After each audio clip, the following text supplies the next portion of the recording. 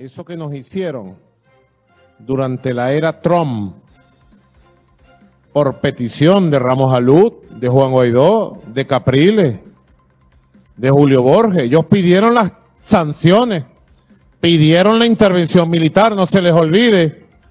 A nosotros no se nos olvida que fueron ellos ahora que quieren ir a elecciones, pero no se les olvide que ustedes pidieron la invasión de Venezuela y ustedes son los culpables de las sanciones. Así que ahora me buscan la forma de que se levanten las sanciones, Capriles Radoki, Ramos Alú, Juan Guaidó. Va buscando la forma de que se levanten las sanciones. Y ratifico lo que dije ayer. Cilia ya consiguió las cotufas. Tenemos las cotufas. Tengo la butaca. Tengo el televisor.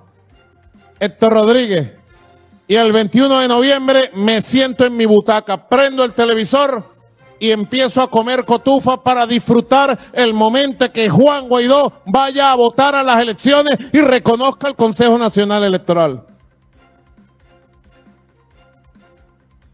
Porque en el momento en que ellos inscriban sus candidatos, están reconociendo al Consejo Nacional Electoral electo por la Asamblea Nacional Legítima instalada el 5 de enero. Es la verdad porque se van a inscribir ante el Consejo.